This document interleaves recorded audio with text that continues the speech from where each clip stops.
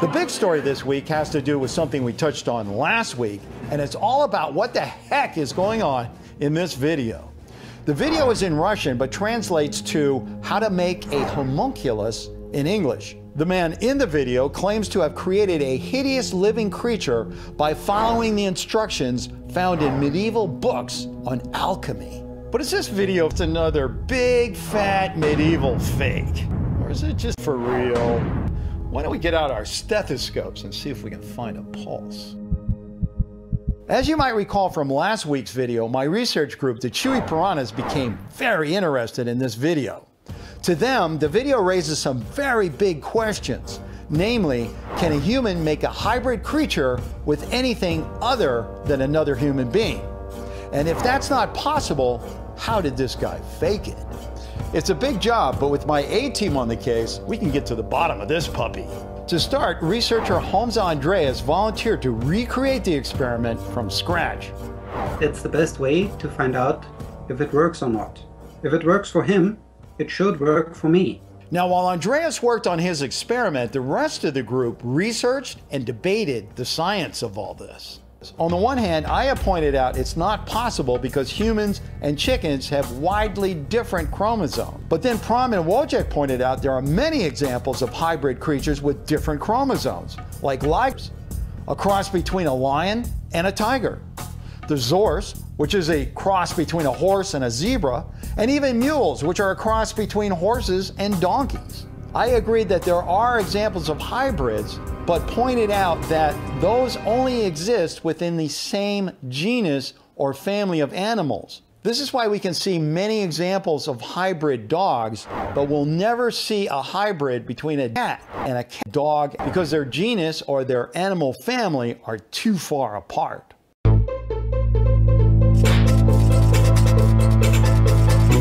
Ten days later, we still didn't have a clear consensus, so we turned our attention back to Andreas. Also Bill, ich habe alle Instruktionen genau befolgt und die, uh, oh, uh, sorry, you might want to hear it in English. Uh, of course, I followed all the instructions precisely. Now it's time to show the results. Let's see what happened.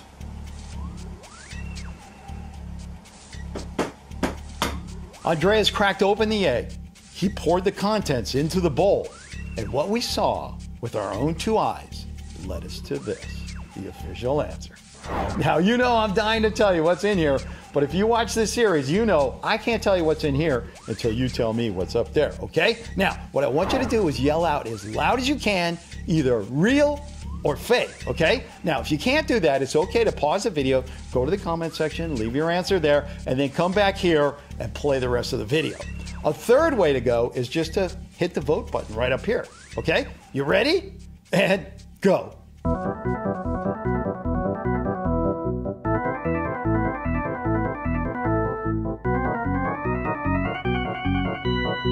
Okay, did you do it? Good, because in just a few seconds, I'm going to show you what's in this envelope. I promise you that. But first, let's just take a real quick look at some of the other crazy stuff that came in this week. This picture, first sent in by Click My Lips, claims to show an alien sea creature caught off the coast of California. Now, Click, if you ever get one of these on the end of your fishing line, you don't have to call Area 51 about it. Experts at the Monterey Aquarium will be more than happy to tell you it's real and it's an albino swell shark. This picture, sent in by Ali Hussein, shows what claims to be a very unlucky parachutist landing in a pond lined with hungry looking crocodiles. Ali, the only place this guy really landed was on the pages of worth1000.com for a Photoshop contest. Here's the original picture without the parachutist. It was taken at a U.S. crocodile farm in the state of Louisiana. And finally, we have this some actual video that claims to show a young man having a dog face put over his own via plastic surgery in Brazil. No doubt there are a lot of people in this world that would love to put their favorite dog face on top of their own. But come on, do I need to say it?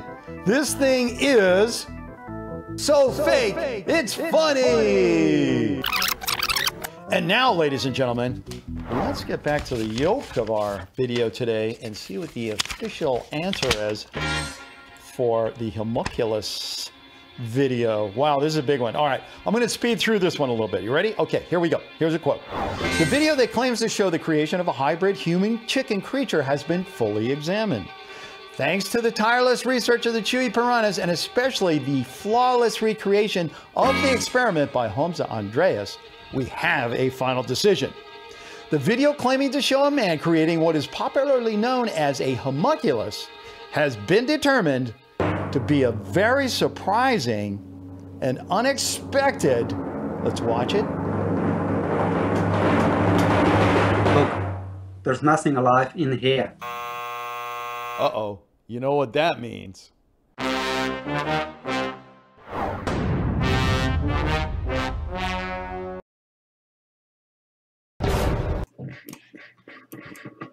Oh man, people, it's a world of trickery out there, I'm telling you. A world of trickery. And that's why you got to make sure you watch Real or Fake every week. So if you haven't subscribed already, please hit the subscribe button so you can say you are keeping it real.